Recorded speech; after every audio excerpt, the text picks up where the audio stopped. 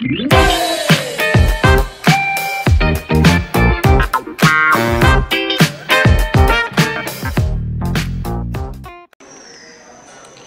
Friends आज हम लोग पढ़ेंगे ऑपरेशन रिसर्च का एक टॉपिक जिसका नाम है ग्राफिकल मेथड इसके पहले मेरा ग्राफिकल मेथड के ऊपर वीडियो ऑलरेडी अपलोड कर चुके थे।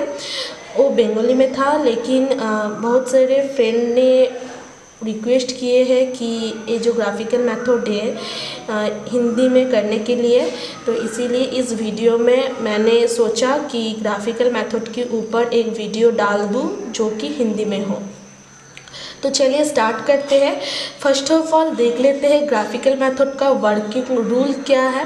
ग्राफिकल मेथड का वर्किंग रूल है कन्वर्ट और constant into equations plot the graph of equations apply the conditions given in constraint identified feasible region all constraint find its corner uh, fourth है test maximum और minimum value of objective function on this corner एक problem ले लेते हैं उसके बाद इसके ऊपर डिस्कस होगा।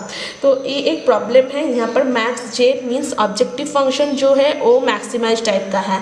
ऑब्जेक्टिव फ़ंक्शन दो टाइप्स का हो सकता है, एक है मिनिमाइजेशन टाइप और एक है मैक्सिमाइजेशन टाइप लेकिन मेरा जो प्रॉब्लम है, उस प्रॉब्लम में मैक्सिमाइजेशन टाइप का ऑब्जेक्टिव फ़ंक्शन है। और सब्जेक्ट टू कंस्टेंट यहाँ पर तीनों सब्जेक्ट टू कंस्टेंट है। इस सब्जेक्ट टू कंस्टेंट को स्टेप वन में क्या करना पड़ेगा? इक्वालिटी फॉर्म में कन्वर्ट करना पड़ेगा। ठीक है ना? देखिए फ़र्स्ट जो स्टेप है converts all constant into equation equation का मतलब भी है इक्वालिटी फॉर्म तो स्टेप वन हम लोग क्या करेंगे? जितना भी कंस्टेंट दिया हुआ रहेगा प्रॉब्लम में, उस सबको किसमें कन्वर्ट करेंगे? इक्वालिटी फॉर्म में कन्वर्ट करेंगे या फिर इक्वेशंस फॉर्म में कन्वर्ट करेंगे? तो इक्वेशन फॉर्म में अगर कन्वर्ट करेंगे तो कैसे करके कन्वर्ट करेंगे? यहाँ पहला जो कंस्टेंट है two X one plus X two equals to hundred हो जाएगा, क्योंकि यहाँ पर लेस देन इक्वल टू था। इक्वलिटी फॉर्म में कन्वर्ट करने का मतलब है इक्वल हो जाएगा। फिर एक और एक कंस्टेंट है X one plus X two क्या हो जाएगा? इक्वल एट्टी हो जाएगा। ठीक है ना? तो इस, ये जो इक्वेशन है, इसका नाम दे दिया वन और इस जो इक्वेशन है इसका नाम दे दिया दो। इसके बाद हम लोगों को क्या करना है? Plot the graph of the equation इस इक्वेशंस को अगर ग्राफ में प्लॉट करेंगे तो हम लोगों को क्या करना पड़ेगा? आ, उसका कोऑर्डिनेट या फिर उसका पॉइंट निकालना पड़ेगा फ़र्स्ट ऑफ़ ऑल तो कोऑर्डिनेट के लिए हम लोग को क्या करना पड़ेगा? ये जो plot the graph of the equation and apply the condition given in the constant तो ये जो कंस्टेंट है इसके ऊपर हम लोगों को आ, कुछ पॉइंट अप्लाई करने के बाद ही हम लोग को वो पॉइंट ग्राफ में प्लॉट करना पड़ेगा। तो पॉइंट कैसे अप्लाई करेंगे? तो point of line point of line one के रिस्पेक्टिव पॉइंट क्या क्या होगा? जैसे कि यहाँ पर two X one plus X two है।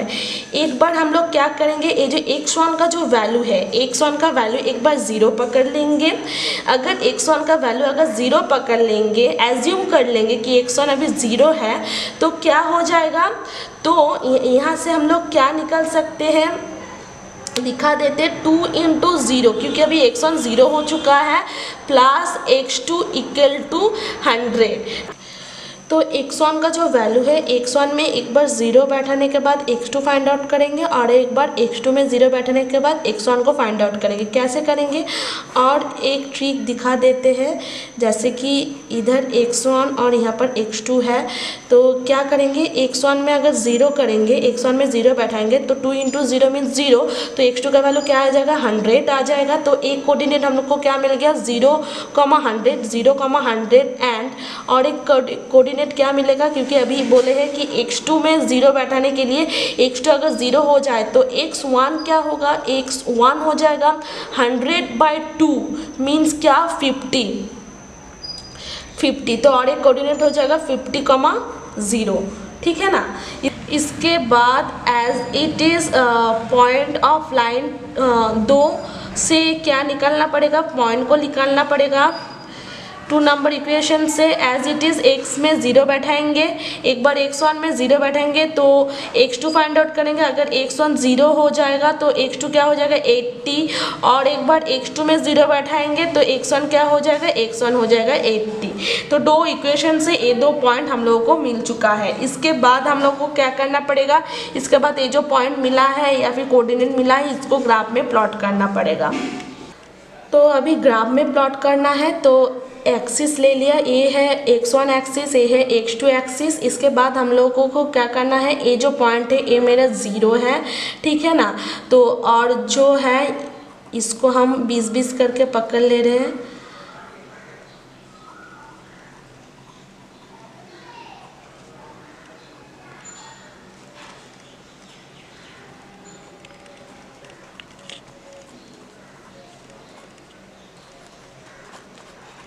ठीक है?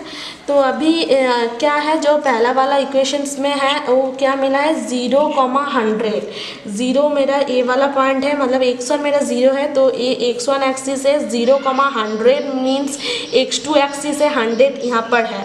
ये एक्स टू एक्सिस है तो यहाँ पर एक पॉइंट होगा. इसके बाद फिफ्टी कॉमा ज़ीरो फिफ्टी मेरा एक्स वन है फिफ्टी ये तो फोर्टी है तो इसके बीच होगा fifty fifty comma zero means और ज़ीरो तो एक्स टू है एक्स टू ज़ीरो तो ये वाला एक पॉइंट होगा। तो इस दोनों को मिलाकर एक लाइन आ जाएगा। ठीक है ना? तो ये क्या हुआ? ये क्या हो गया? यहाँ पर है। ये हो चुका है ज़ीरो कॉमा हंड्रेड और ये हो चुका फिफ्टी कॉमा ज़ीरो। ठीक है ना? तो एक तो क्या था? ये हम, हमने क्या किया? ये जो इक्वेशंस है, इस इक्वेशंस को इक्वलिटी फॉर्म में कन्वर्ट किए। उसके बाद हमको क्या निकालना पड़ा? पॉइंट को निकाल दिए। पहला जो इक्वेशन था, उसके हिसाब से। तो ये तो अभी इक्वलिटी फॉर्म में था, उसी हिसाब से पॉइंट को निकाले। लेकिन एक्चुअल प्रॉब्लम में प्रॉब्लम में लेकिन ये इक्वलिटी फॉर्म में नहीं है। ये less than equal to form में है। तो less than equal to form में इस जो लाइन को मैंने खींचा ये तो लाइन को अभी इक्वलिटी फॉर्म में खींचे, क्योंकि यहाँ पर इक्वल देखकर फिर इसका पॉइंट निकाले। लेकिन एक्चुअल प्रॉब्लम में ये लेस देन इक्वल टू है तो इस लाइन को less than equal to type का है, समझने के लिए हम लोगों को और एक चीज़ करना पड़ेगा। वो चीज़ क्या है? सपोज़ मान लेते, सबसे ईजी ट्रिक है ए वाला। ए जो इक्वेशंस था ए वाला इक्वेशंस को ही हम इक्वलिटी फॉर्म में किए हैं। तो देखो friend two x one plus x two two x one plus x two less than equal to hundred था। ठीक है ना? तो सपोज़ अगर हम एक्स वन को अगर ज़ीरो मान लेंगे, ठीक है ना? एक्स वन और एक्स टू दोनों को ही अगर ज़ीरो मान लेंगे तो क्या हो जाएगा? Zero less than equal to hundred. ठीक है? तो ये कंडीशन क्या है? ट्रू है कि फॉल्स है? ज़ीरो से हंड्रेड बड़ा है। ज़ीरो से हंड्रेड बड़ा है। तो ये जो कंडीशन है, ये ट्रू कंडीशन है। जब कंडीशन ट्रू होगा, दोनों में ज़ीरो बैठा के चेक करेंगे। जब कंडीशन ट्रू होगा, तब जो फिजिबल एरिया है, वो किस तरफ़ होगा? वो ऑरिजिन के साइड होगा। ऑरिजिन के साइड होगा या फिर ऑरिजिन के टू वर्ड्स होगा।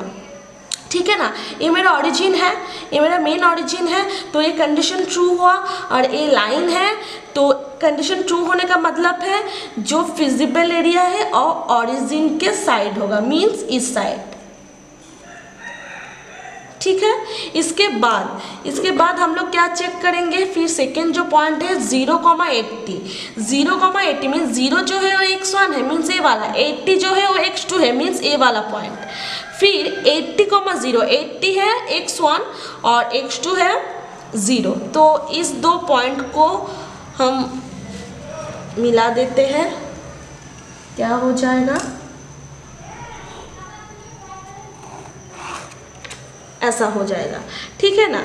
तो फिर एज इट इज़ क्योंकि ए वाला जो इक्वेशंस था ए भी लेस देन इक्वल टू का फॉर्म में था less than equal to form में हो या फिर greater than equal to form में हो, उसको हमने स्टेप वन में इक्वलिटी फॉर्म में कन्वर्ट किए थे। इक्वलिटी फॉर्म में कन्वर्ट करने के बाद उसका पॉइंट निकाले थे। तो ये जो इक्वेशंस मतलब ये जो लाइन प्लॉट हुआ, ये तो अभी इक्वलिटी फॉर्म में हुआ। लेकिन इसको less than equal to form में करने के लिए और एक ट्रिक करना पड़ेगा। वो क्या है? सेम इसके तरह ही, एक कौन सा इक्वेशन था? ये था x one plus plus x two less than equal to eighty ठीक है ना? फिर से एक्स वन और एक्स टू में ज़ीरो बैठाएँगे। एक्स वन अगर ज़ीरो है एक्स टू अगर ज़ीरो है तो zero plus zero means zero तो zero less than equal to eighty condition true है कि फॉल्स है?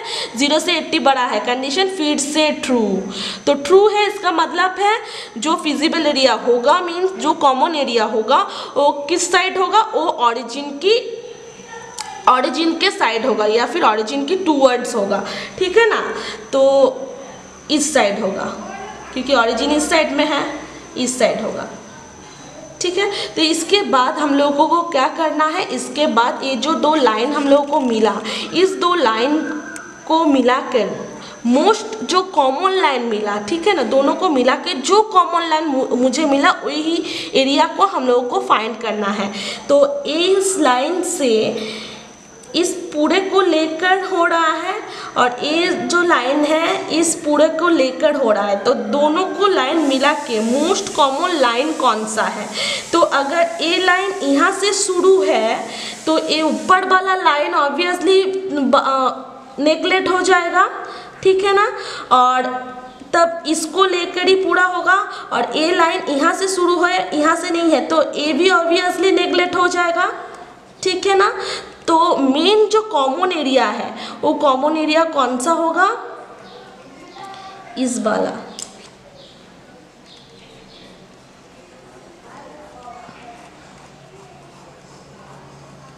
ठीक है ना? तो ए हो गया कॉमन एरिया और यहाँ पर एक नया पॉइंट निकालना पड़ेगा इस लोकेशंस पर।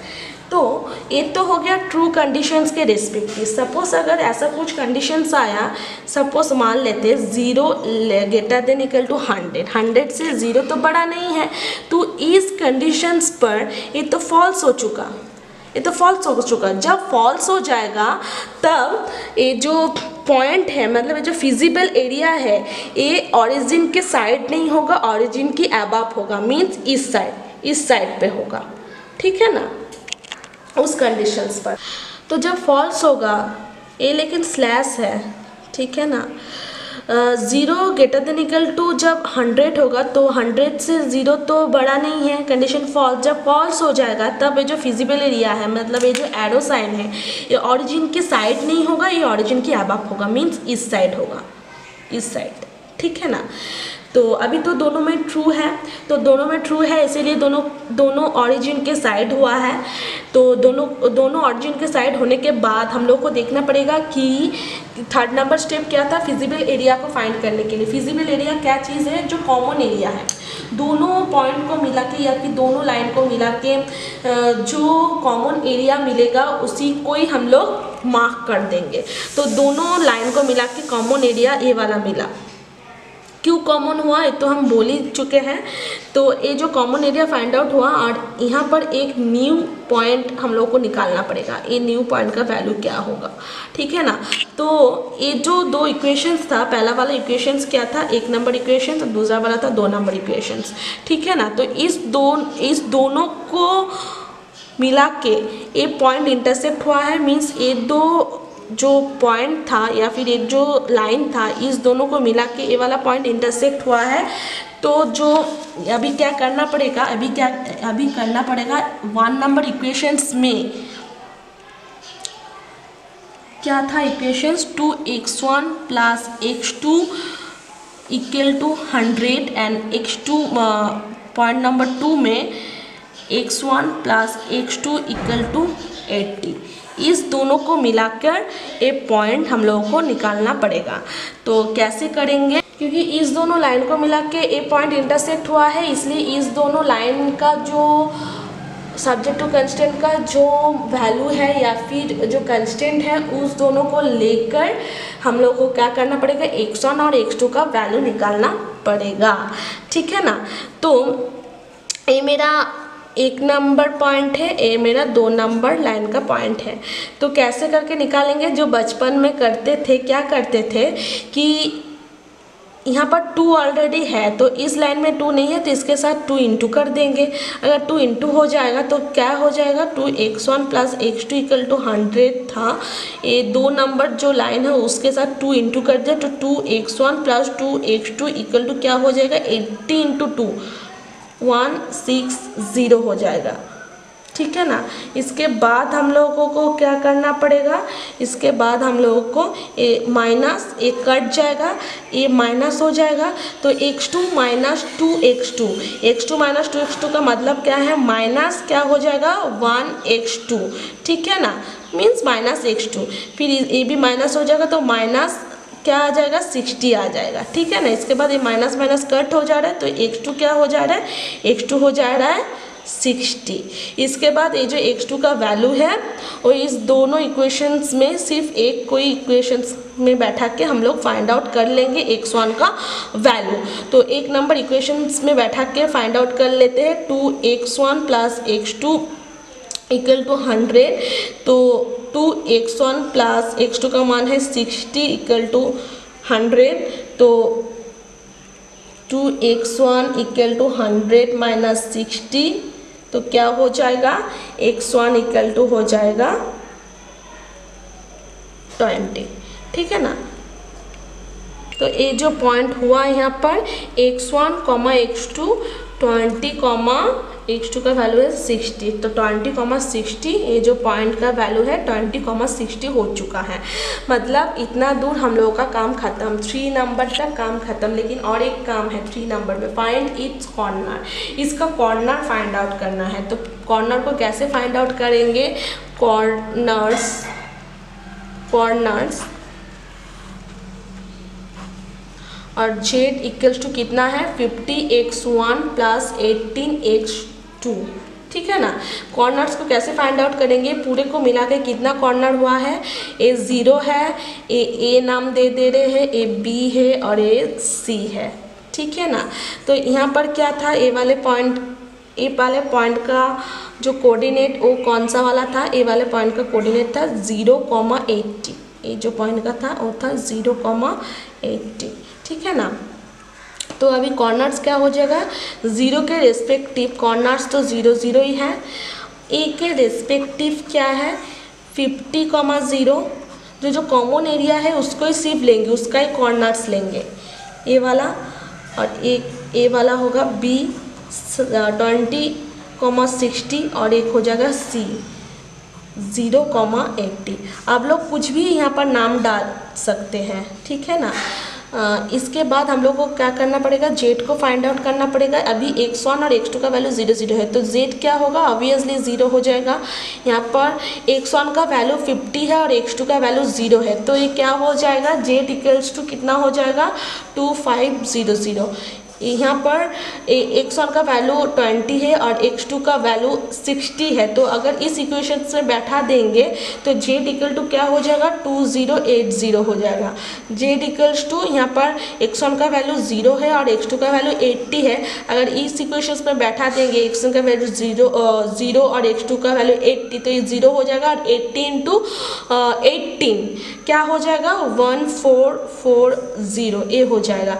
तो इसमें से कॉर्नर्स फाइंड हो चुका है। Means find this corner corner find कर लिए। फोर्थ नंबर स्टेप क्या है? टेस्ट मैक्सिमम और मिनिमम वैल्यू ऑब्जेक्टिव फ़ंक्शन तो प्रॉब्लम में क्या था?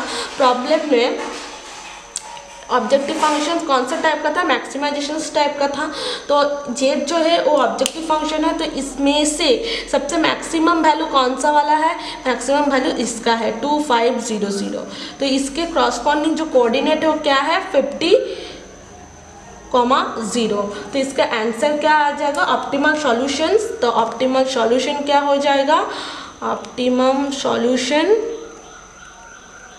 ऑप्टिमल सॉल्यूशन या फिर बेस सॉल्यूशन जो जेड इक्वल्स टू हो जाएगा two five zero zero and उसका कोऑर्डिनेट क्या हो जाएगा? और जेड है मैक्सिमाइजेशन टाइप का। Max z equal to two five zero zero और उसका कोऑर्डिनेट हो जाएगा x one equal to fifty और x two equal to zero यही हो चुका इसका आंसर ठीक है ना? तो यही पढ़ी, ये जो ग्राफिकल मेथड है, ये वाला टॉपिक ख़त्म होता है. सो so फ्रेंड्स अगर मेरा ये वीडियो आप लोगों को अच्छा लगे तो सब्सक्राइब कर देना, साथ ही साथ लाइक शेयर और कमेंट भी करना. और नए नए वीडियो अपडेशन एंड नोटिफिकेशंस पाने के लिए बेल आइकॉन को प्रेस करना. Thank you friends